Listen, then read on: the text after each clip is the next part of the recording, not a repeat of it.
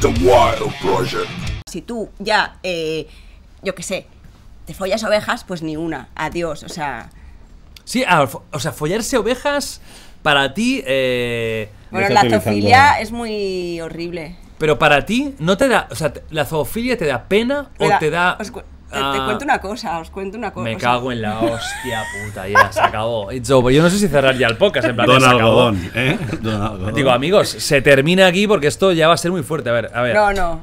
Que, quiero decir que es muy. que No, no, no, a la no. gente le puede parecer gracioso. O sea, tengo un amigo que, que hablamos. que- con el que hablo de. Cuando me pongo nervioso tartamudeo, por si no os habéis dado cuenta.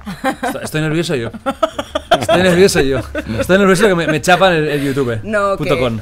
Yo no lo he llegado a ver, pero uh, este colega me decía que realmente había, o sea, que no es para mí, para mí no es lo mismo eh, ponerte mermelada en el chumino y, y dejar que tu perro te la quite que que, que a una perra y que se ve que hay em, vídeos zoofílicos muy horribles, muy tristes, o sea, es y, y no sé, o sea, ¿no veis que es una diferencia brutal? O sea, no es para nada lo mismo.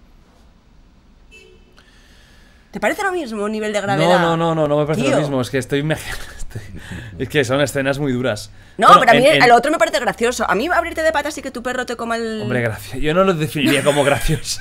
o sea, la, la- la palabra que yo utilizaría para definir el acto de ponerte a- comida en los genitales y que tu animal te chupe A mí me para parece que- cómico.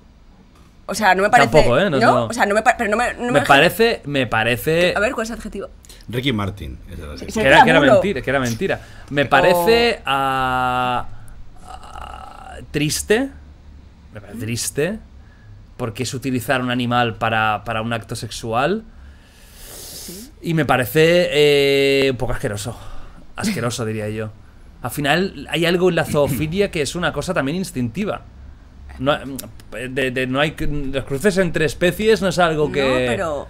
bueno, que de hecho eh, el humano pues es nazca de cruce de especies, neandertales con y se sabe que el Homo sapiens se tiraba a neandertales. ¿Ah, ¿ah, sí? Sí. Sí, sí.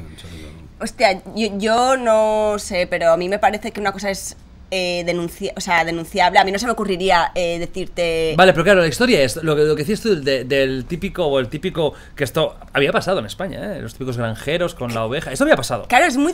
Pero para ti, claro, es que es, es que es No, muy no, loca dale, esta dale. conversación. Es- ese animal, ¿tú consideras que está siendo abusado? sí. Pero tiene consentimiento ese animal, porque ¿y si, y si ese animal no, no lo está pasando mal? No, claro, es que es tan subjetivo. O sea, es que es muy subjetivo.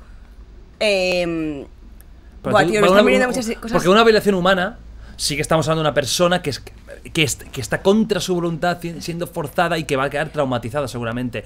Pero un animal no tiene conciencia de lo que está pasando. No, si el animal no se queja, o sea, no, no rechaza, si el animal no, no quiere huir, no me parece tan mal. Surrealista. Porque. Bueno, es bestia la conversación. Sí, sí, ¿No pero. te parece tan mal? no, si el animal no quiere huir, pero, o sea, me parece mal, pero me parece, o sea, me parece, lo peor me parece eh, si el animal está sufriendo. Hombre, claro, claro, claro. Bueno, había la, la típica escena de, de- de- Esto me lo contaba mi padre. Si la En esa oveja se deja, eh, en no esa la época estás- había como la moda de caballos teniendo sexo. Tú, no- tú lo habéis escuchado seguro, ¿no? Había como alguna escena de, de un caballo que tienen un pollón ahí de 7 metros con, con una mujer. En el Sex Museum de Ámsterdam. Hay una escena hay- de eso, ¿no? Sí. Es que es muy- creo que es muy famosa. Joder, yo no la he pero- visto nunca, no, pero, pero bueno, es lo mismo, pero al revés. ¿Cómo tiene que ser ser esa mujer, eh?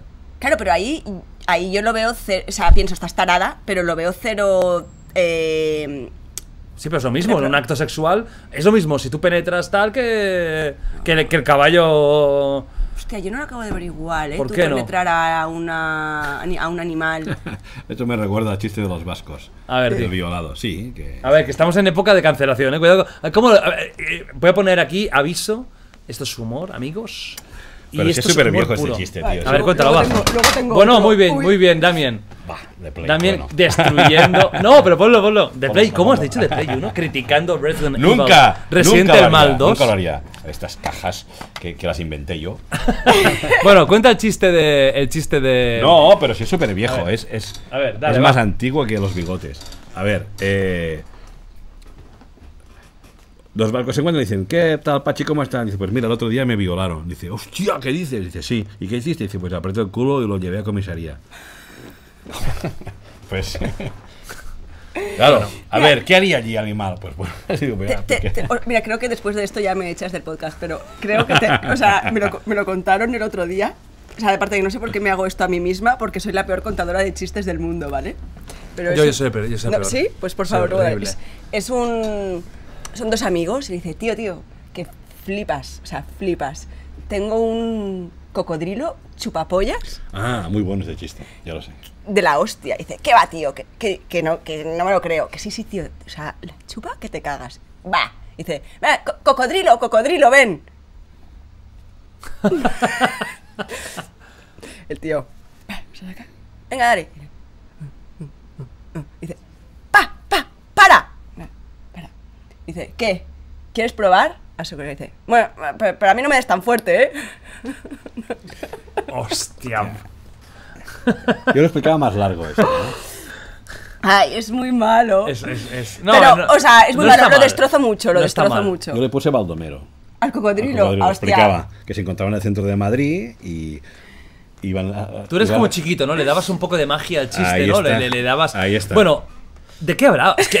Bueno, de Maradona, ¿puedo, decirte, ¿no? ¿puedo decirte una noticia? La madre que os parió un momento, pero esto que estamos hablando de, de que, de que siete médicos están siendo investigados De que sigue por la siendo muerte ídolo de o no Maradona. ídolo. y, y en serio hemos acabado hablando de cocodrilos tengo- que chupan penes. O sea, me estáis contando de que hemos pasado de, de, de, de- de- del caso de- de- de- de- de- del gran dios Maradona a a contarme si, si, e- si una oveja que le den por detrás es peor que, que mermelada. ¿Cómo has llegado ahí?